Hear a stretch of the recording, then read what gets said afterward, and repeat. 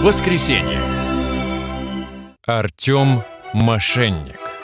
На жизнь он зарабатывает тем, что разоряет крупные компании. Здравствуйте. Здравствуйте. Это вы? Мы. Однажды на очередном деле он влюбляется в свою очередную жертву. Артем, что происходит? Помолчи, пожалуйста, я здесь еще генеральный директор. Вера, дай мне руку. Пойдем, мне надо с тобой Артем, что происходит? Пойдем поговорим. Он хочет жениться на ней, но его компаньон Сергей хочет довести аферу до конца. Мы же договорились с тобой сделать эту сибирскую компанию вместе! Мы же столько лет работали! Ты все рушишь! Удастся ли ему выйти сухим из воды? Он очень опасный человек.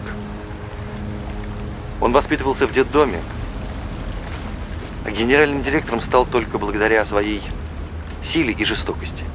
Армен Джигарханян, Максим Дрозд в криминальной мелодраме «Родительский день» на телеканале «Новый мир».